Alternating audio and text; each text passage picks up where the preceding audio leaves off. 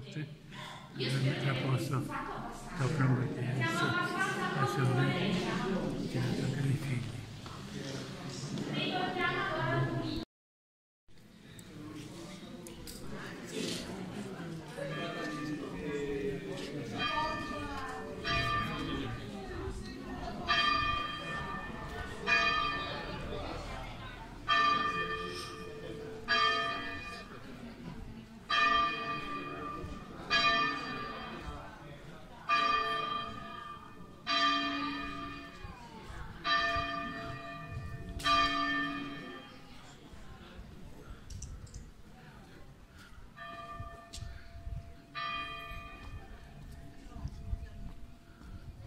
Dimmi! Eh, sono qua, eh.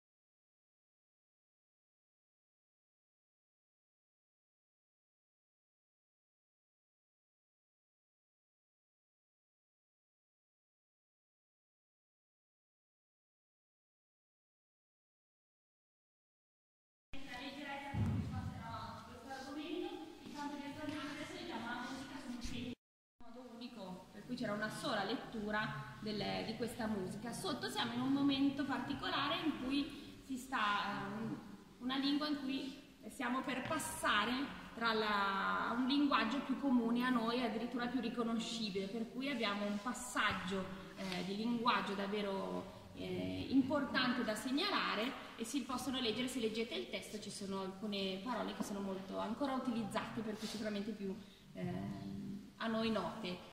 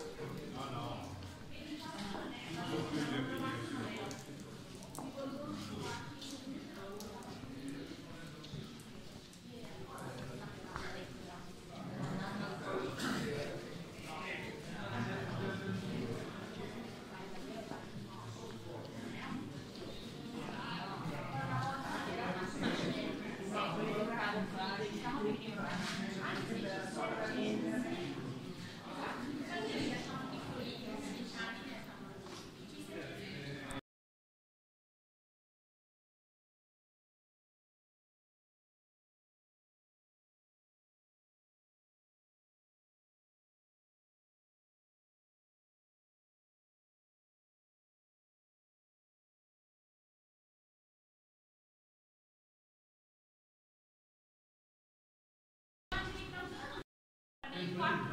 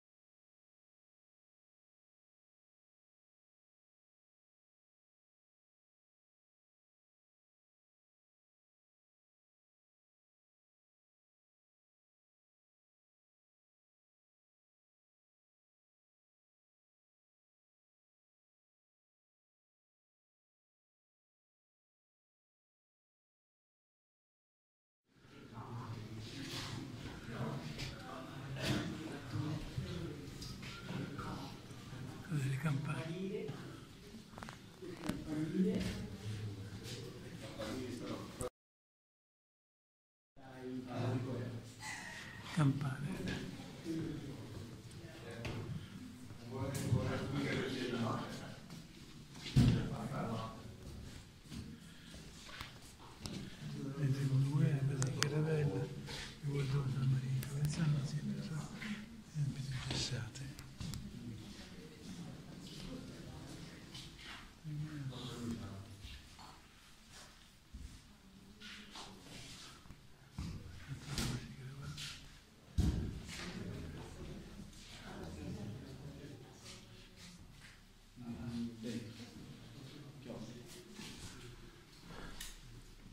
Così.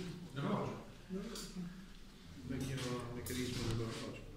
Sai che ci stanno aspettando fuori?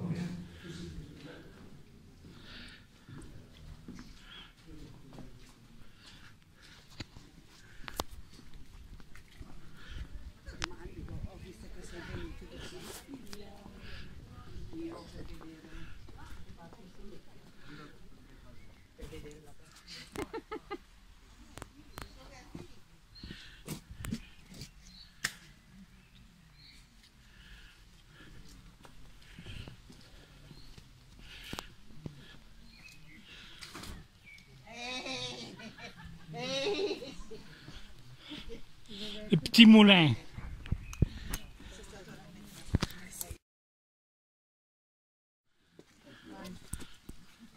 Respira. Guarda, Ciribicciacca è bella, no? Del, dei piccoli... cosa sono? I, i piccoli eh, uccelli che... Ah, ciap ciap ciap.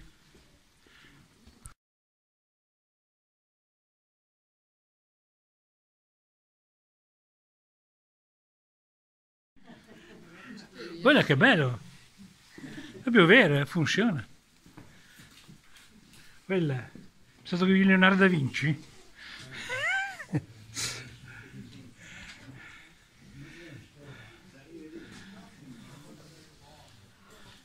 Pazzesco, eh?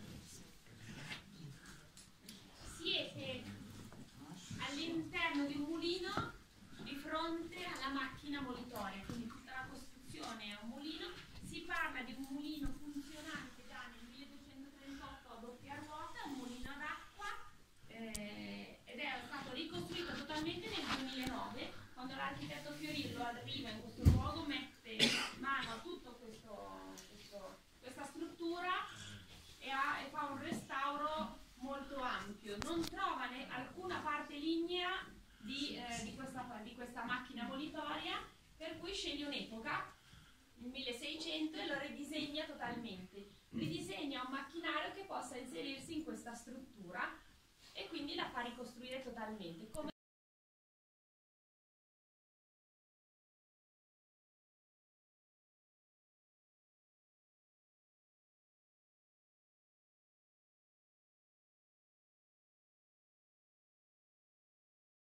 nella macina superiore ce ne sono due di pietre, di macine. Una viene chiamata la macina morta perché sta ferma, quella superiore invece è la macina in movimento, i semi cadono nel, nel buco centrale del- della pietra, si inseriscono nelle facce delle due pietre, muovendosi quella superiore va poi a rompere tutti i semi.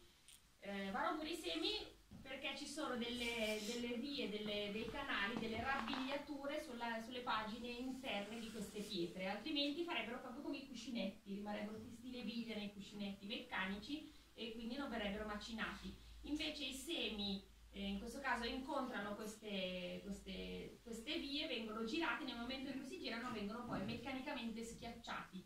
Man mano che si va verso l'esterno delle pietre, lo spazio tra le due pietre va ad assottigliarsi fino quindi a finire. E I pezzi diventano sempre in granulometria sempre più piccola fino a finire all'esterno della pietra, cadere in quel catino e essere quella che poi riconosciamo come, come farina, come macinato. Non è il mulino bianco ma il mulino giallo perché abbiamo fatto mai una linea gialla. Eh, di solito nelle cascine si hanno sempre due linee, la linea bianca e la linea gialla, per quello mulino bianco, perché è da grano tenero, almeno qua in Lombardia, e si fanno in contemporanea, perché il mugnaio, non so se ci sono dei mugnai tra di voi, Io? Dura.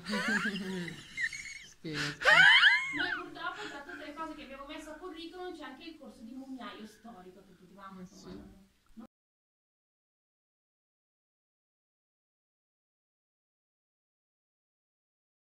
sono secondo dritte, non a Ah, cucchiaio a raccolta, per, per cui poter più sono a cucchiaio, più sono a raccolta, più l'acqua va è minore, di solito viene concentrata va dall'alto, riempie i cucchiai che poi si spostano verso il basso. Per esempio in alta montagna ci sono le ruote chiuse a cassettoni proprio e l'acqua corre lungo il tetto della baita, cade dall'alto, riempie il cassettone e si gira. Qui da noi invece abbiamo una pala enorme, pesantissima, tutta di legno con le pale dritte. Perché? Perché vengono colpite a 90 gradi quando arriva l'acqua direttamente, quindi non è un mulino a salto di raccolta di acqua. L'acqua noi non ne abbiamo un problema e in più veniva storicamente dalla, dalla Vettabbia, quindi arrivava da Milano, raccoglieva tutte le fogne della città di Milano e in uscita da Milano arrivava da noi e passava. La qualità dell'acqua per un mulino è ininfluente perché serve solo la portata d'acqua, non tanto la qualità. Adesso invece abbiamo anche una qualità di acqua eccezionale perché arriva dal depuratore di Nosedo.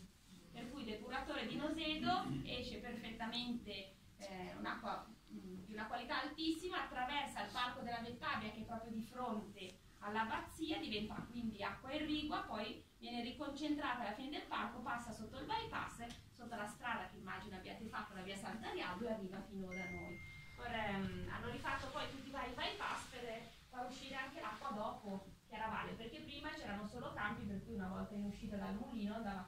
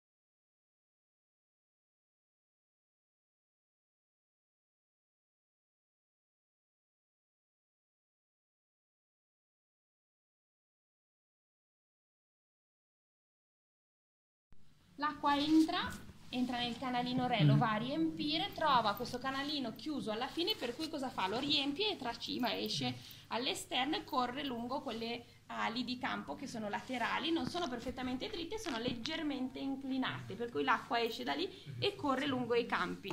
La prima acqua va a riempire il terreno, l'acqua successiva invece corre sopra. Quando nel momento in cui corre sopra eh, non si ghiaccia, perché se l'acqua è in movimento non si ghiaccia, se non si ghiaccia l'acqua non si ghiacciano neanche le radici. Questi campi che vedete essere molto estesi anche rispetto alla grandezza del, della chiesa servono per erba verde, per dare da mangiare agli animali. Faccio un riassunto, tanta erba, tante mucche, tante mucche, tanto latte, tanto latte, doverlo conservare in forme molto grandi per tempi molto lunghi siete nel luogo in cui si dice sia nato il Grana Padano e quindi il consorzio Grana Padano aprirà un piccolo museo in questo angolo proprio per, eh, questo, per sigillare questo momento e questo caso Svetus che è questo disciplinare di un formaggio che sappiamo poi avere tante declinazioni, parmigiano reggiano, eh, grana padano, lodigiano che è quello col marchio più vecchio, ogni provincia ha delle piccole differenze e eh, delle, dei disciplinari molto precisi e leggermente differenti. Nascono però chiaramente legate a questo tipo di, di agricoltura perché marcite non tanto perché il terreno rimane bagnato, marcio quindi, ma perché il primo taglio di erba, il primo sfalcio è quello di marzo, marzo marzita e a marzo che di solito nei campi abbiamo 5-6 cm di erba, qui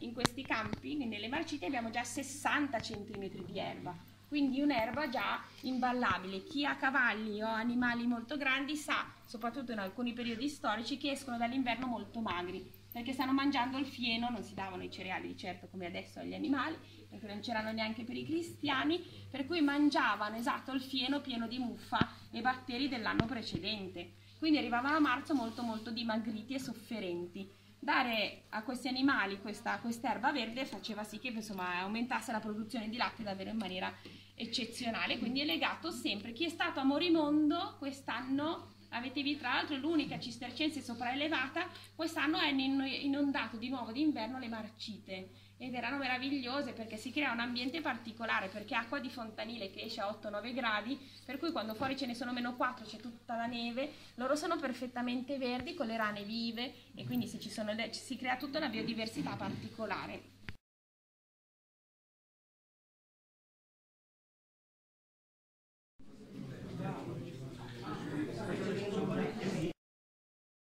si eh, eh, separi eh, vari tipi di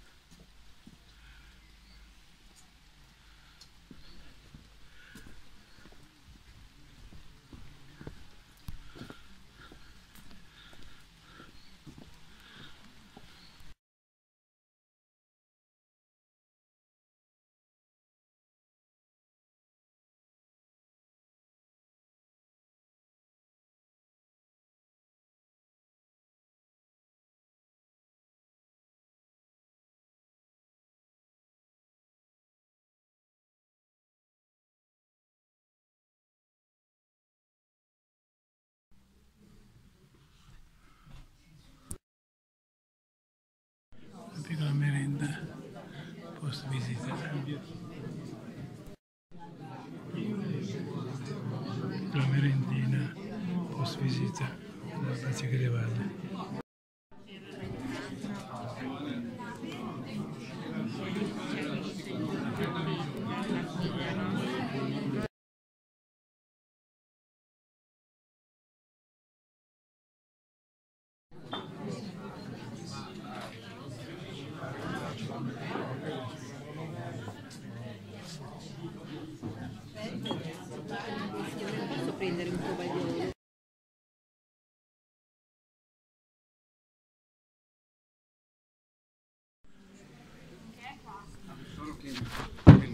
qui, adesso avviso.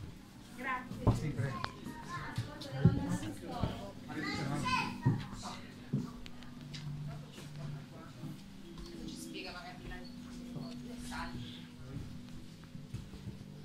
Non si stufa a fare il monaco? no? Eh? Non si stufa a fare il monaco? Se non si stufa fare il monaco. No? Grazie. No, no.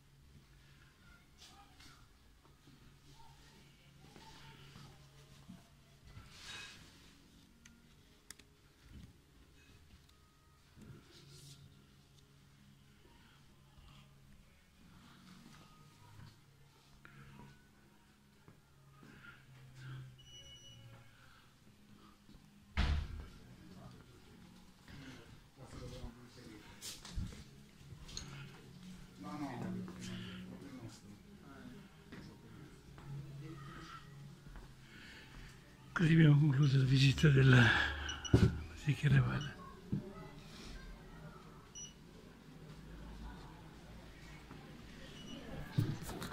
Saluto.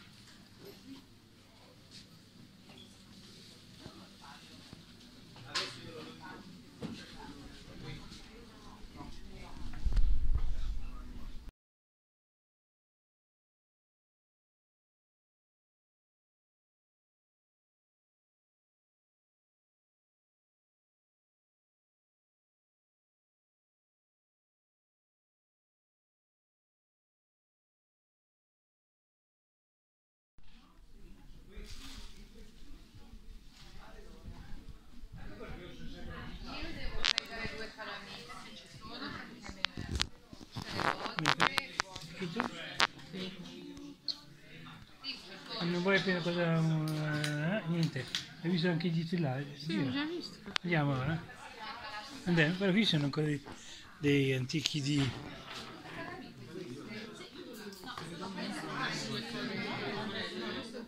Come scusa?